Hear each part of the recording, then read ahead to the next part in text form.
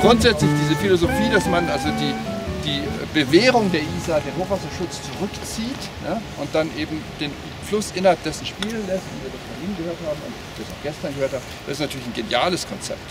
Also das gibt es auch sonst nicht so. Nicht? Also, äh, dass man so eine versteckte Sicherheit hat und dazwischen eben die, die Natur arbeiten lässt. Das ist toll. Ich würde sagen, wir gehen dann auch weiter bis zur ähm, bis vor der Wittelsbacher Brücke.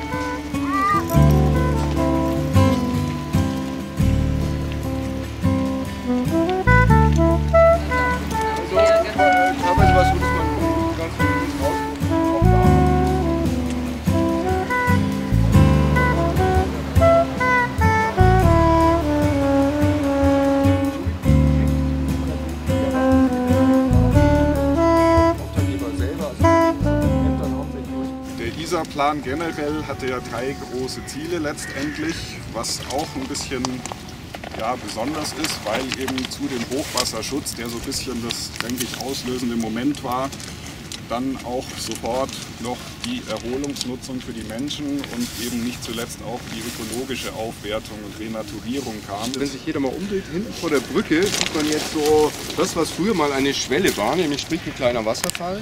Ein ganz wichtiges Ziel der ganzen äh, Renaturierungsmaßnahmen war eigentlich auch, dass die Durchgängigkeit wieder hergestellt wird. Jetzt gerade für Fische und kleinere äh, wasserlebende Wesen.